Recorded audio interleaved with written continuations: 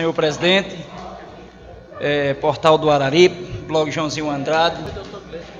É, em nome de minha amiga Zizi, quero aqui abraçar a todos nessa casa e dizer que fico muito feliz, muito honrado em receber aqui cada um de vocês nessa casa. Né? Minha amiga Nicole também, seja bem-vinda sempre, viu? E diante disso, eu venho aqui a essa casa, é, senhor presidente, de uma forma feliz por mais esse, esse dia que Deus tem nos concedido. E fico muito grato é, em poder, mais uma vez também, Vossas Excelências, senhores vereadores, estar aqui mais uma vez defendendo aqui essa nossa população, esse povo carente, esse povo que na verdade é, precisa muito de cada um de nós, é, que a gente vem aqui fazer o nosso glorioso papel, que é realmente representar a nossa população. E diante disso, Vossa Excelência, eu venho a essa casa é, fazendo tipo uma prestação de conta com a nossa sociedade desse mês de maio, aonde esse mês de maio foi um mês que eu trouxe muito requerimento a essa casa, aonde no dia 16 de maio de 2017 trouxe aqui um requerimento a essa casa é, pedindo ao senhor prefeito é, que fosse feita uma lombada ali próximo ao posto Alto, Bonito, ali na BR-316, né, onde ali circula muitas crianças atravessando aquela pista, arriscando ali a vida, e não só também as crianças, como também aqueles cidadãos que trabalham, realmente é uma grande necessidade ali. Também entrei com um requerimento no dia 16 de, de maio de 2017, pedindo também ao senhor prefeito é, uma eu pedi para que seja fiscalizado, né, que ele trouxesse para mim. É a cópia dos termos de compromisso das obras da creche do bairro São Geraldo, é, da, da construção também do conjunto residencial Divino Espírito Santo, né, da creche de lá, e também da, da quadra poliesportiva da Mangueira. E eu estou aí aguardando, né, estou aguardando aí do senhor prefeito essa resposta, também os valores que foram pagos até o momento, se há algum valor em caixa, cópia do orçamento das citadas obras. Então foi pedido também no dia 23 de maio de 2017, eu pedi ao senhor é, prefeito, né, que também é, viesse dar uma olhadinha também na questão daquele povo ali da, do Divino Espírito Santo, onde a situação ali, Vossa Excelência, é muito triste, né? O, o povo lá sofrendo com a questão de água, inclusive, Vossa Excelência, eu comprei até um caminhão-pipa para ajudar aquele povo, que realmente a situação não era muito fácil.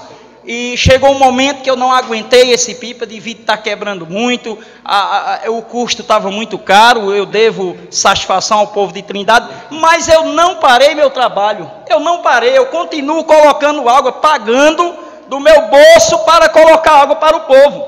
Aonde tem pessoas desinformadas que muitas das vezes me critica, me julga de uma forma covarde, que nem faz e nem também é, ajuda quem quer fazer. Mas para julgar é fácil, para criticar, para querer se, desfa se desfazer, mas querer resolver o problema, Deus me livre. Porque, senhores vereadores, como é difícil você ser um vereador de oposição porque você tem vontade de lutar pelo povo, você tem vontade de realmente fazer o melhor para a população, mas é como se diz o ditado popular: uma andorinha só não faz verão. Eu mesmo vivo aí trabalhando constantemente pela nossa população, é sempre trazendo requerimento aqui, é, é muito aqui, mas é, não dá de ler tudo, senão vai tomar meu tempo todinho, mas eu sempre estou fazendo alguma coisa, que essa é minha missão como vereador é isso aqui, é trazer projetos, é trazer informações para a nossa sociedade do que possa melhorar a vida do nosso povo. Mas infelizmente eu preciso de apoio, eu preciso de pessoas que queiram me ajudar, porque o Andorinha só não faz verão não. E como eu falei agora mesmo, infelizmente, meus colegas, é difícil você ser um vereador, senhora Poliana, de oposição, porque infelizmente muitas coisas você quer e não consegue. Porque se eu tivesse no poder do lado do prefeito, não, as coisas eram mais fáceis para mim. Mas realmente é difícil, porque existe a política, a maldita política pelo meio, que realmente estraga tudo. Né? Concordo, Vossa Excelência, da parte. Eu vou só fazer uma parte que seu comentário leva até as pessoas a acharem que realmente as coisas acontece tudo para quem é de situação e não acontece nada para quem é de oposição. Seja bem-vindo à situação. A Constituição libera você ir e vir para onde você quiser. Então não diga esse discurso não, que você quiser vir é muito bem-vindo para a situação. Mas não, os vereadores de oposição têm os mesmos problemas que o de situação. Se você se trata em, em, em, pedestal de superioridade, você acaba atingindo seus colegas Isso. sem perceber. Mas eu quero estar do jeito que eu estou, Vossa Excelência, com toda. Mas com você, toda... Não quer, você não quer ser a favor do povo, amigo? Então quero... vem para o lado da situação, você está dizendo resolve tudo? Justamente, Vossa Excelência. Mas a gente sabemos que, na verdade, Vossa Excelência sabe muito bem que até para o senhor também, que é do lado do prefeito, as coisas se tornam difíceis também, né? Mas é o tipo. Mas tem algumas coisas, entre aspas, Vossa Excelência, entre aspas, né? algumas coisas, concordo. Então, senhores vereadores, eu, na verdade, não só eu, como meus colegas vereadores, a gente tem o prazer de fazer o nosso trabalho, de trazer nossos projetos, como todos os vereadores aqui traz o seu projeto, traz suas colocações, mas na verdade, infelizmente, a gente não é atendido. A gente não é atendido de forma alguma. Aonde, na verdade, Vossa Excelência, é onde eu quero chegar, que o senhor prefeito deveria é, prestar mais atenção e olhar para essa casa, Vossa Excelência, olhar para essa Câmara, para atender os nossos pedidos, porque não adianta, senhor prefeito, o senhor querer, muitas das vezes, querer me perseguir, né? Porque na verdade é, é dessa forma que eu me sinto, eu não tenho papa na língua, o que eu quero dizer, eu digo e acabou-se, e pronto. Então não adianta de forma alguma querer existir uma certa perseguição diante desses requerimentos que eu trago. Isso aqui não é de Júnior Sena, não. Isso aqui é do povo, senhor, prefe... senhor prefeito. Então isso aqui é o pedido do povo, isso aqui é coisa que eu me sento com o povo, que eu tomo café, que eu almoço com o povo, janto, e o povo me repassa as necessidades, as mazelas da nossa cidade. Então eu, senhora vereadora, tenho o prazer somente de fazer o meu papel, que é chegar aqui e fazer os meus requerimentos e pedir. Se o senhor prefeito acatar, fico muito feliz e honrado, senhor prefeito. Mas se não, também eu não posso fazer nada. Mas o que eu posso fazer é o seguinte: é tirar uma cópia de cada papel desse e ir na casa de cada cidadão que me pediu e dizer: olha, cidadão, está aqui o papelzinho, eu fiz meu pedido, fiz meu papel, mas o senhor prefeito não fez. Então minha parte eu fiz, né? Então, Vossa Excelência. É, o tempo está meio rápido aqui, mas a gente vai falar.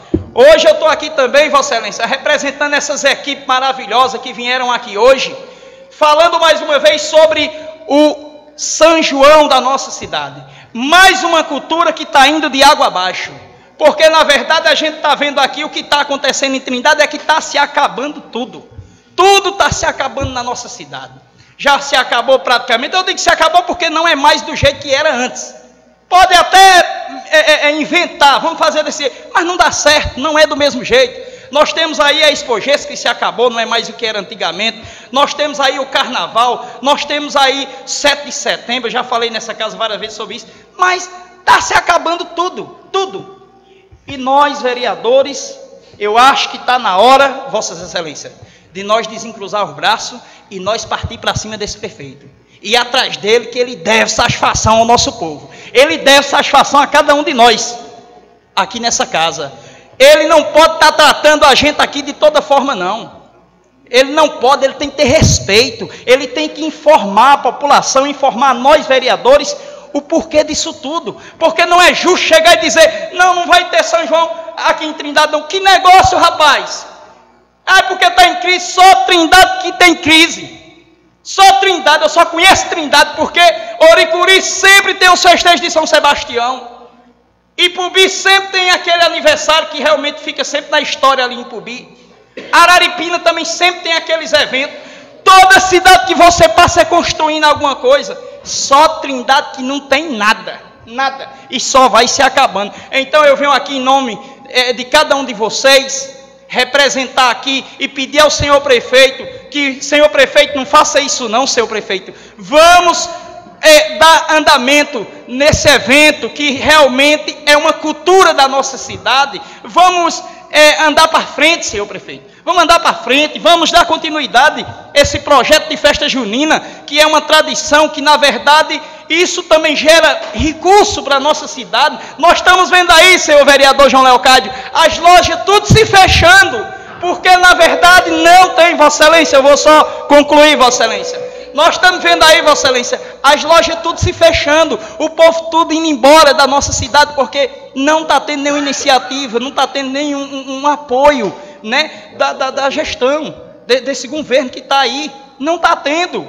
Então, só para concluir, senhor presidente, eu venho aqui pedir ao senhor prefeito que vamos olhar com carinho e vamos colocar é, é esse evento em prática. Então, não tendo mais nada a falar, já concluindo aqui, Vossa Excelência, muito muito obrigado. Agradeço a cada um de vocês que vieram aqui e até a próxima terça-feira, assim se o Criador nos permitir.